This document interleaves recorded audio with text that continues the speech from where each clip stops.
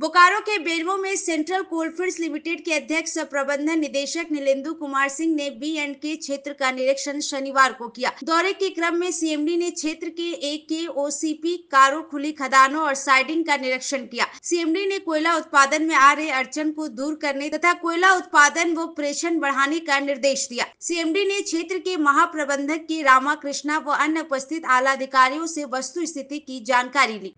जो ज़मीन और उससे जुड़ी जो समस्याएँ हैं हाँ, उसके निदान के लिए सीसीएल प्रतिबद्ध है और हर संभव प्रयास करें।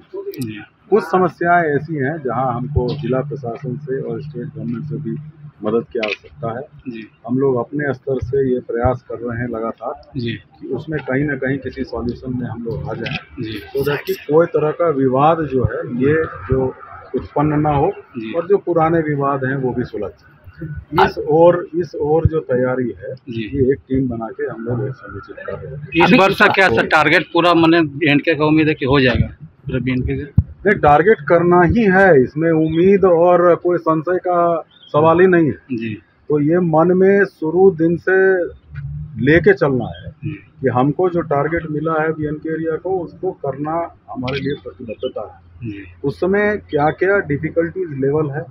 कहाँ कहाँ किस किस समस्याओं से कैसे समाधान की ओर हम लोग बढ़ेंगे उसको जट डाउन करके और उसको संख्या में ला के उसके लिए प्रयास करना है कि वो अच्छे से जो है वो खत्म हो जाए सो दैट इस साल भी प्रोडक्शन हो और आने वाला साल भी जो है हमारा निरंतरता जारी सर शिफ्टिंग नहीं होने से कहीं ना कहीं विस्तारीकरण भी सर बाधित हो रहा है सर उसको लेकर क्या? नहीं नहीं देखिए, क्या है, एक ऐसी प्रक्रिया है जब आप किसी से भी कोई भूमि लेते हैं, चाहे वो गाँव जो है, वो विस्थापन की ओर जाता है।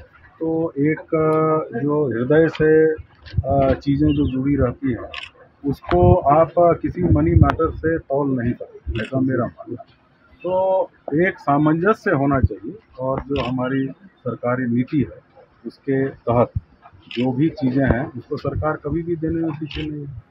कहीं कहीं बातें केवल यही अटकती हैं कि वो नीति के या तो विरुद्ध है या नीति में समावेश उसका नहीं हो पा रहा है, जिसके कारण कहीं कहीं बातें अटकती हैं। उसमें भी हम लोग पहल करते कहीं